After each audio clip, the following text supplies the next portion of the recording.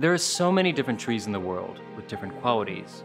For example, this is a tree, this is a tree, this is a tree, this is a tree, and this is a tree. This is a Wollemi pine. It's the only living species left in the Wollemia genus, and it's potentially up to 200 million years old.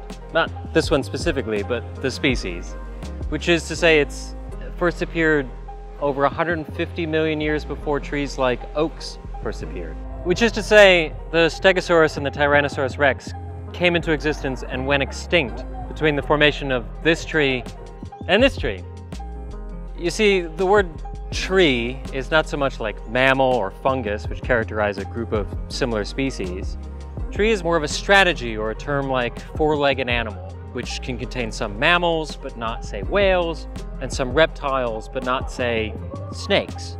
Tree is more of a strategy that some plants use to survive.